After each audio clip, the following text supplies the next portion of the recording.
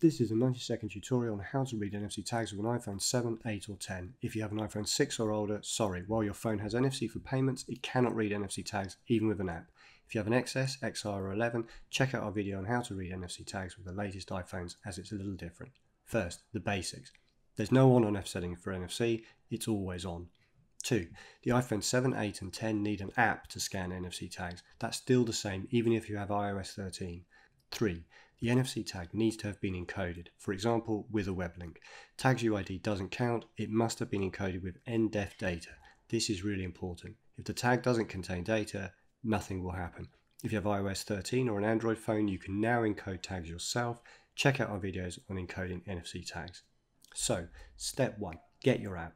We recommend NXP's Tag Info app. It's lightweight, free and reliable. Step 2.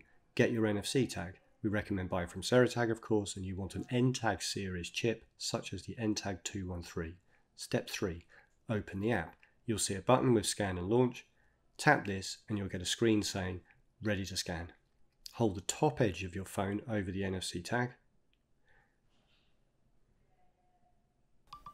The page will launch automatically and you're done. Thanks for watching.